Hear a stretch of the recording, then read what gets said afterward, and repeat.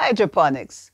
It's a modern and efficient way of producing lots of vegetables, flowers, fruits without the use of soil. Sure, it's high-tech, but in this video, Don will show you a relatively simple system that he has designed and installed here in the Calyx garden. So keep watching and he'll take you through the stages of construction, installation, and the growing of our first crop of lettuce.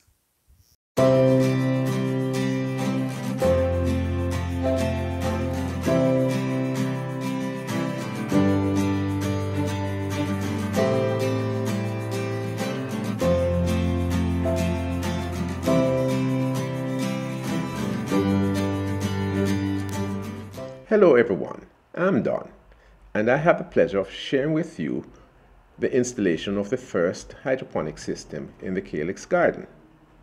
As Thelma just said in the introduction, hydroponics is the growing of crops without soil.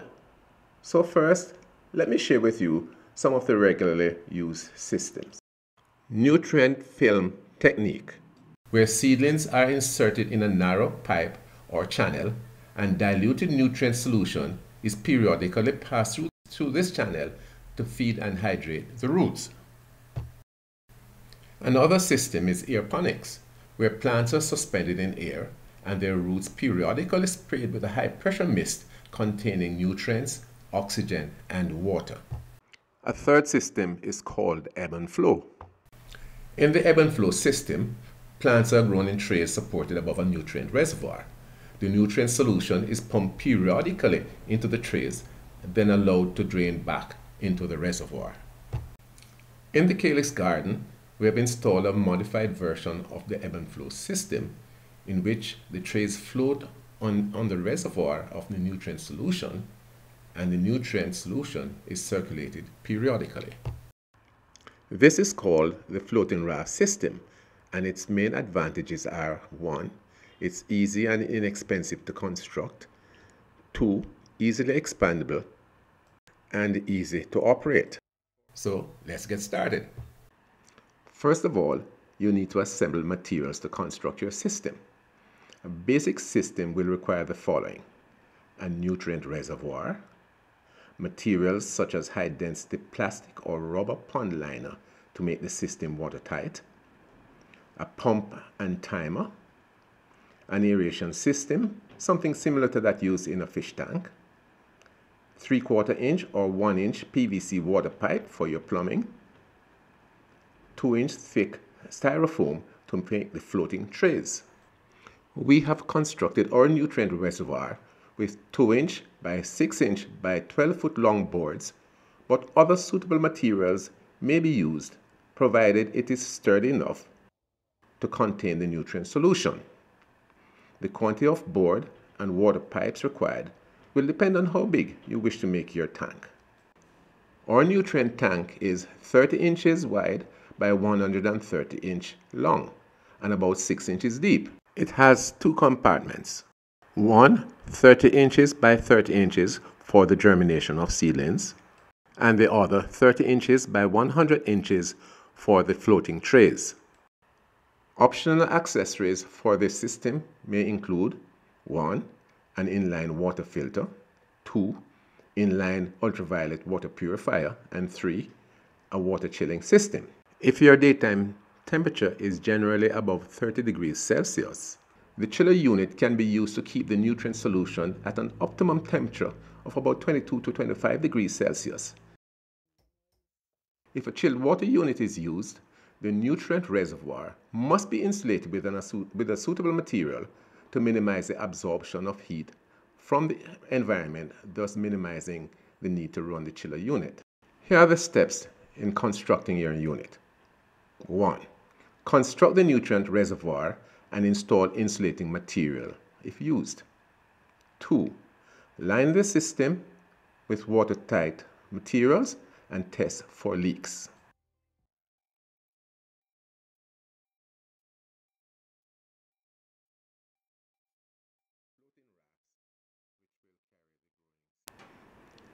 Cut and fit the floating rafts. Use rubber seals around the rafts to minimize penetration of sunlight into the water. This guards against the growth of algae in the, in the nutrient solution. 4. Drill holes in the rafts with spacings to suit the crop you intend to grow. 5. Install a filter, pump, timer, chill water unit and purifier and complete the plumbing system. 6. Assemble the control panel and test system for proper operation. 7. Fill the reservoir to the correct level and add nutrients to the recommended concentration and pH. Here is what our completed system looks like. The circulation pump maintains uniform concentration of the nutrients and it is essential if you are going to use the chill water system. Note that the aeration system is absolutely essential for maintaining proper oxygen level in the water. The water purifier removes pathogens and bacteria from the nutrient solution. Whilst the optional accessories are not absolutely necessary for your system to operate, we had installed them to provide us with the flexibility of experimenting with different growing conditions. Useful equipment to have include a conductivity meter and a pH meter. When your system is ready, transfer the seedlings from the seedling trays to the floating rafts. And here we're using romaine lettuce as our test crop.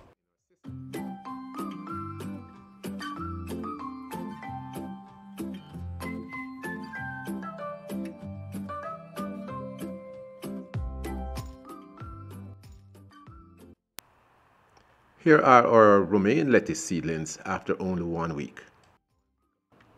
Note that we had installed plastic covering over the seedlings to protect them from heavy rainfall.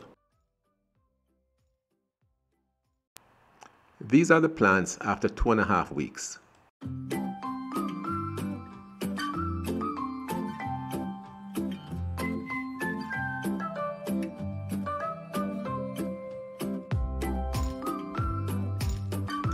The lettuce grew very quickly and were ready for reaping three weeks after transplanting.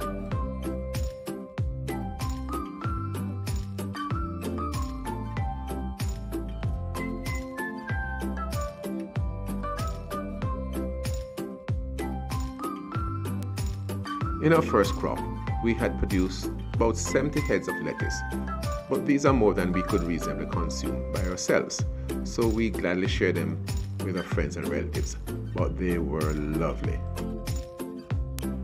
I'm so excited about the prospect of our next crop. Thanks, Don. We do make a good team, don't we? He builds it and I use it. This is new to us in the garden and already I've started looking into other options for using it, which we'll bring to you in subsequent videos. But since I'm hoping that some of you will want to grow along with us, I think it's a good time for me to share some of the observations that we made from this first test run. First, we noticed that there was a low incidence of algae growth on the upper surface of rafts. This was possibly due to the nutrient solution escaping through the planting holes. So, going forward, we will ensure a tighter fit of seedlings into the planting holes. Uh, another observation, um, there's a need to protect the young plants from damage during heavy rains because halfway through our experiment we had to erect a makeshift uh, covering from the rains. And third, three, you saw it, there was some overcrowding, so we'll need to be a bit more careful about the spacing. So happily, although we grew the crop outdoors, we had no pest problems and the water purifier no doubt contributed to the absence of diseases. We hope you found this video informative and interesting. If you liked it, please give us a thumbs up, share it with your friends, and if you haven't done so already, please subscribe. And this is a good time for me to introduce our text on protected agriculture, which starts off with the theoretical aspects, but then takes you through step by step how to install various structures, how to grow the crops in the structures, and we hope you check it out on Amazon and BookFusion. So until next video, when we bring you another interesting um, gardening experience, this is Thelma saying bye-bye.